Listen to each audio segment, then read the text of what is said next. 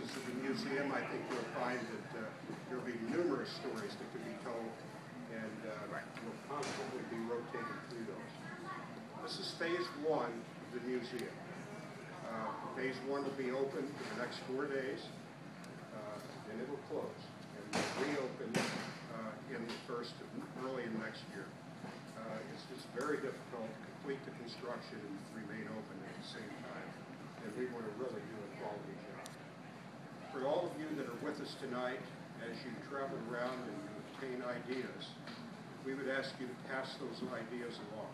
Whether you want to do it on our website, you want to do it uh, in writing, you want to just tell Shirley or Mary, just give us your ideas about how to make this museum work, how to